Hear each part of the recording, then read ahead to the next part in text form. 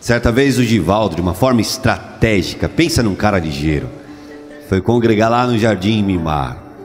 Mas numa preparação oportuna, alguns amigos dele que já te conheciam e ele ainda não, ele falou que infelizmente ainda não conhecia a Rai, ainda não. Mas numa preparação, terminado aquele culto que vocês guardam muito bem na alma e na memória, vocês foram na casa da irmã Tica, uma pessoa que você tem um carinho muito grande. Aliás, tem um carinho, vocês têm um carinho. E é claro que naquele dia foi tão especial que o Gilvaldo ele observava muito, mas ficava na dele. Ficava meio reservado. Só que quando as coisas elas têm um propósito para acontecer, elas encontram um caminho. E depois dessa oportunidade, três dias, mandou uma mensagem para você. Teve um momento dele mandar uma mensagem no WhatsApp. Conseguiu o seu WhatsApp. Só que logo depois entrou a pandemia. Esse primeiro encontro, que nem foi um encontro assim mais de vista, de troca de olhares, para saber quem era esse tal Givaldo, assim por diante. Inclusive tinha até cupidos na história. Sempre às vezes tem mais do que um ainda, tem mais do que um. A Tainá e o Victor falavam, ai, tem um cara que é o seu jeito, é o seu perfil, é o seu número e até apontava na igreja quando ele chegou. Fizeram uma propaganda enorme e o Givaldo, numa simplicidade, nem estava sabendo de nada, nem estava sabendo de nada. Mas logo depois entrou a pandemia, porque de quando vocês se conheceram demorou praticamente dois anos até começarem o um relacionamento. Entrou a pandemia e logo quando ele tomou coragem para fazer o convite para ter um encontro, fechou tudo. Tudo fechou. Falou, e agora, Jackson? Eu queria tanto.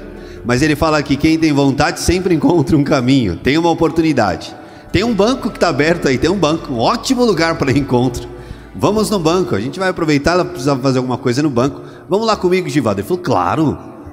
Ela estava esperando ele na frente do banco, de uma forma muito tranquila, quase vestida de noiva naquele dia. Muito bem preparada. O Givaldo chega, para quem não sabe, uma história detalhada e confirmada com veracidade.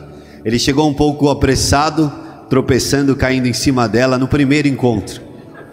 E ela falou: Calma, Givaldo, calma que é só um encontro no banco, coisas financeiras. Ele falou: A sua beleza me desmonta. Olha que saída, que saída, que saída. Para não gritar de dor dos três pontos que levou no dedo, ele preferiu falar isso. Começaram a conversar, ficaram uma hora na fila. E depois descobriram que nem precisava ter pegado fila. Mas foi melhor pegar fila. Tem pessoas que a gente passa um tempo e vale muito mais do que uma hora. E para vocês foi o tempo oportuno nesses 60 minutos de vocês conversarem muito. E nesses dois anos e pouco que vocês estão juntos, vieram hoje, nesse dia especial, nesse domingo. Pode ser que não seja lá fora do jeito que vocês queriam, pela chuva que Deus manda, mas é aqui dentro, dentro do coração dessas pessoas, nesse espaço tão bonito, que é uma forma muito especial para vocês também. E nesses dois anos vocês conheceram bastante um do outro, cada um de um jeito, de uma forma, de um costume.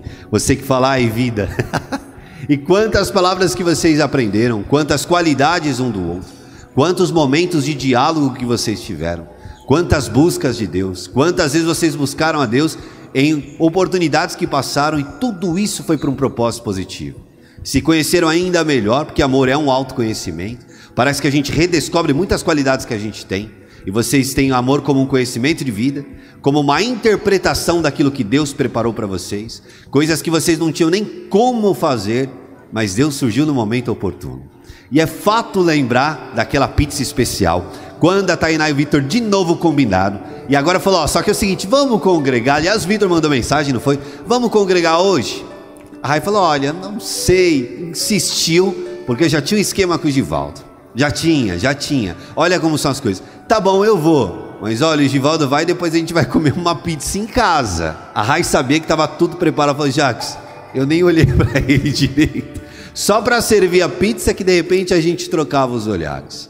E na hora depois de tocar um violão, estava meio desafinado, acho que ele deixou de propósito para emendar um assunto. E essa foi oficialmente quase o primeiro encontro, depois antes do banco.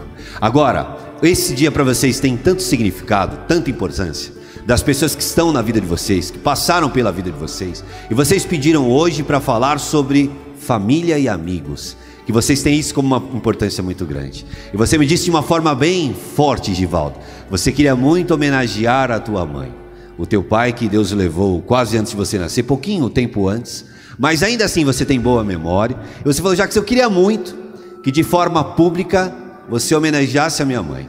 Tem uma escritora americana que ela dizia que todas as pessoas, pelo menos uma vez na vida, deveriam ter o prazer de serem aplaudidas de pé. Pelo menos uma vez na vida, de alguém reconhecer o fato, o caráter, a intenção, a medida que cada pessoa tem, seja famosa ou anônima, mesmo que ninguém conhece. Mas nós temos o privilégio de conhecer a tua mãe. E eu vou pedir agora aqueles que puderem ficar de pé, ofereçam uma salva de palmas para a irmã Marisa.